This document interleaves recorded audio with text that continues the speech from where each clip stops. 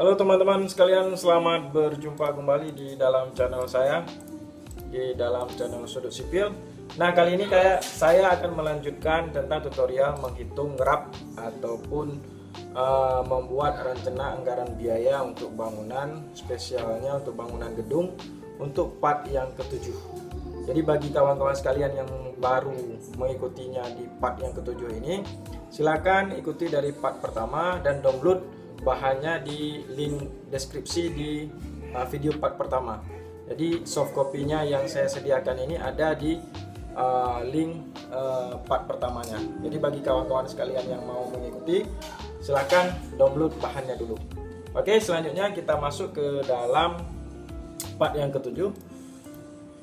Sebagaimana yang bahan yang kemarin, kita sudah melanjutkan sampai dengan uh, stamping batu kosong. Jadi yang dua form ini, dua kolom ini yang saya merahkan adalah ini menjadi PR di part yang keenam. Jadi bagi teman-teman sekalian yang mengikuti ini mungkin sudah mengisi ini. Jadi volume saya tidak tahu dan bila memang ada yang serius silahkan DM saya via Instagram boleh uh, bisa di kolom komentar boleh. Jadi saya ini tidak isi dulu nanti sampai dengan part part selanjutnya baru saya akan isikan volumenya dan hasil rapnya. Nah, rekan-rekan sekalian, selanjutnya kita menuju ke poin yang keempat di pondasi menerus.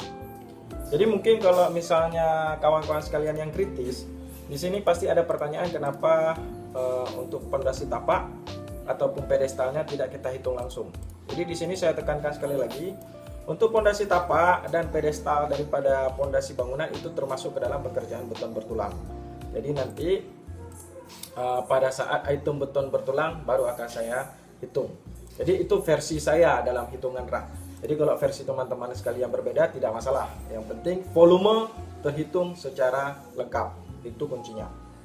Nah, kawan-kawan sekalian, selanjutnya adalah poin keempat. Kita langsung tulisnya poin keempat. Seperti ini. Oke. Ini adalah pondasi menerus. Selanjutnya item daripada pondasi menerus. Setelah AA stampi batu kosong, kita cek kepada gambar kerjanya. Ini ini adalah pondasi menerus kita.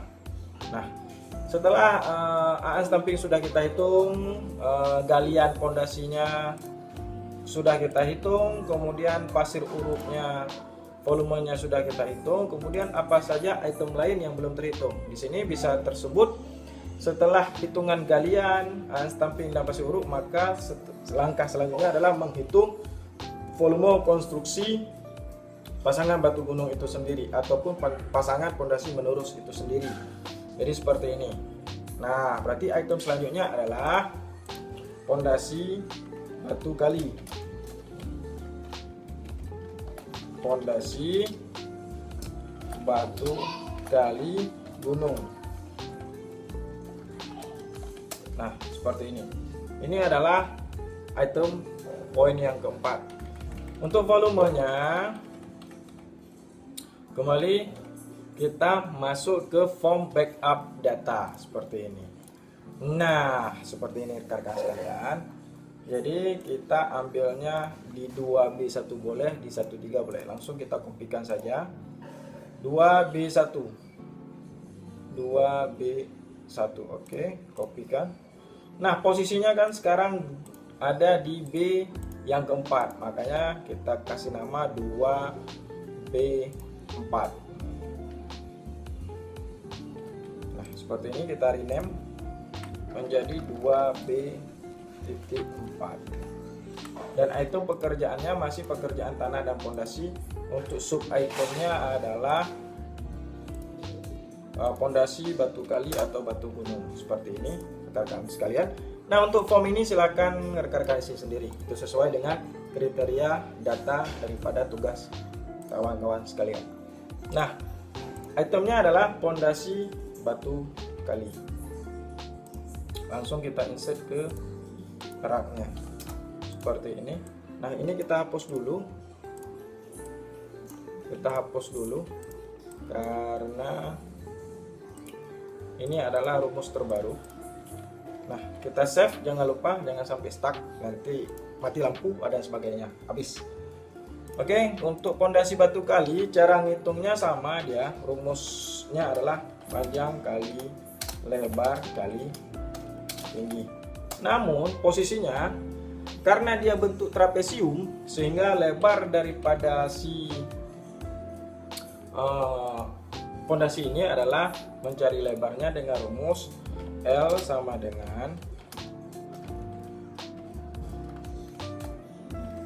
L sama dengan setengah kali setengah tambah setengah kali alas tambah tinggi.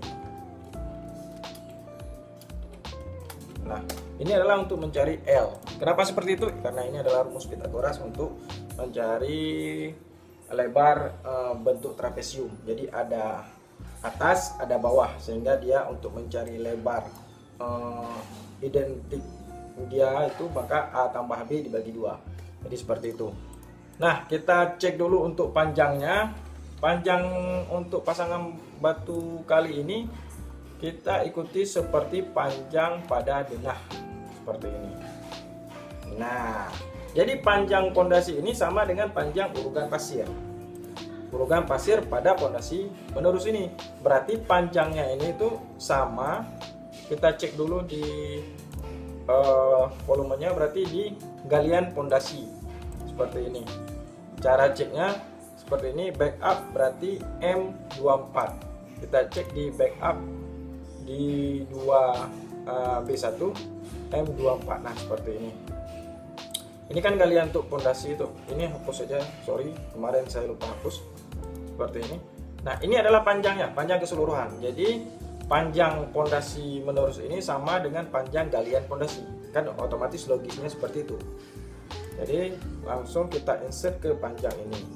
Nah untuk lebar nah lebar kita kembali ke rumus Pitagorasnya setengah kali A tambah B. Berarti sama dengan uh, A tambah B kita cek dulu. Berarti A adalah ukuran lebar atas dan B adalah ukuran lebar bawah. Jadi kita cek lebar atasnya adalah di tipikalnya. Ini berarti lebar atasnya adalah 0,35 cm eh 0,35 meter atau 35 cm sedangkan lebar bawahnya adalah 60 cm atau 0,60 meter. Jadi langsung kita insert ke form backup hitungan volume kita. Berarti 35 dengan 60 berarti lebarnya adalah 0,35 ditambah 0,60 kemudian dibagi dua karena sekali dengan seperdua nah seperti ini. Berarti lebar aktualnya ataupun lebar hasilnya yang konkret adalah 0,48 ataupun 48 cm nah untuk tingginya kita kembali kepada eh, gambar kerjanya cara menghitung tinggi seperti ini. Nah ini adalah uh, tingginya. Berarti adalah 60 cm atau 0,60 meter. Jadi langsung kita insert di sini 0,60 meter. Nah seperti ini. Untuk unitnya kita kosongkan karena dia tidak punya unit. Hanya punya panjang. Jadi begitu. Ini susah sekali ini. Ini antivirus saya Oke, kemudian kita isi no oh, unitnya adalah no. Satuannya adalah karena panjang kali lebar kali tinggi berarti satuannya adalah meter kubik. Seperti itu. Jadi volume kontraknya adalah panjang dikali lebar dikali tinggi. Nah, berarti kubikasinya adalah volume kontraknya ataupun volume hitungannya adalah 40,76 meter kubik. Jadi langsung kita input ke form wrapnya seperti ini. Berarti volumenya adalah 40 40,76 meter kubik. Satuannya sama adalah meter kubik. Nah, untuk analisanya kita cek terus untuk analisanya adalah berarti pasangan pondasi batu gunung. Kita cek. Nah, ini dia pemasangan 1 meter kubik pondasi batu kali belah campuran 1 banding 4. Jadi ini kita pasang. Jadi uh, yang mana nih kita pasang? Ada yang satu banding tiga. Jadi terserah kita. Jadi kalau memang misalnya teman-teman mau pakai yang satu banding tiga itu lebih lebih agak lebih keras berarti uh, pakai yang analisa ini kalau memang pakai 1, uh, 1 banding 4 boleh saja tapi yang biasa yang biasa dilakukan di konstruksi itu satu banding tiga nanti masalah satu banding tiga satu banding empat satu banding dua satu banding dua tidak ada tidak ada yang pakai nanti saya jelaskan di video-video selanjutnya. Jadi jangan lupa silahkan subscribe. Kemudian berarti kita pakai ini yang satu banding tiga. Kita ambil di formnya. Kemudian langsung kita insert di analisanya. Nah seperti ini. Kemudian untuk harga satuannya tinggal kita insertkan saja. Ini. Nah, untuk hasilnya tinggal kopikan saja teman-teman sekalian. Oke, berarti unit price-nya itu totalnya adalah 41 juta sekian. Jadi itu adalah untuk mencari pasangan batu kali. Jadi bagi kawan-kawan sekalian, bagi teman-teman sekalian yang uh, masih ada apa namanya pertanyaan atau segala macam, silakan tanyakan di kolom komentar. Jadi semaksimal mungkin saya akan menjawabnya. Jadi jangan takut, jangan takut untuk memulai uh, mencari ilmu pengetahuan silahkan apa pun secara teknis untuk erat administrasi proyek silahkan tanyakan. Insya Allah saya bisa menjawabnya. Kalaupun tidak bisa saya akan mencoba mencari tahu untuk jawab rekan-rekan sekalian. Baik ini saja untuk tahap 4 ini. Bila memang bermanfaat silahkan di share tidak masalah. Malah anda akan berpahala. Oke terima kasih. Assalamualaikum